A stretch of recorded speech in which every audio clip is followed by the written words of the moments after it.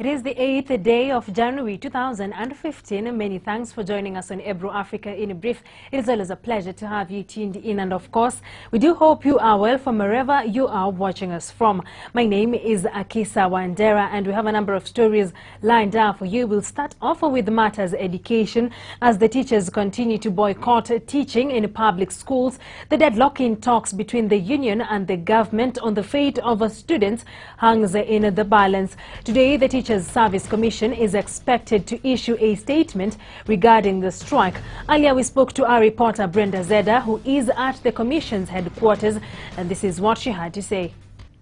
Anytime from now, we are expecting the Teachers Service Commission, that is the teachers' employers, to address the media. Now, the, the press conference that has been called for by TSC comes a day after the meeting between the government and the Kenya Union of Post-Primary Education Teachers collapsed and two days after the Kenya National Union of Teachers meeting um, with the government collapsed. Now, we know that, um, as you know, teachers are demanding for a pay increase. Now, KNUT is demanding for a pay increase of um, 200%, or KUPPET is demanding for a pay increase of between 100 and 150%. Now, the government maintains that they cannot give teachers a pay increase until a job evaluation is done. Now, the government says that um, the only thing they can handle right now is allowances for teachers.